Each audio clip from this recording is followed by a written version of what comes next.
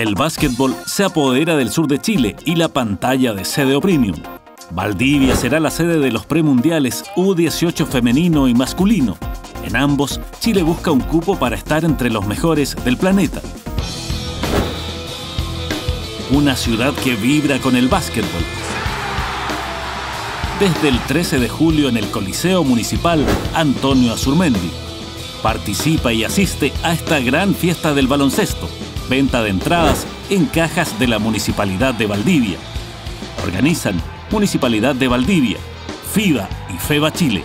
Colaboran Región de los Ríos y Gobierno Regional. Auspicia Telefónica del Sur.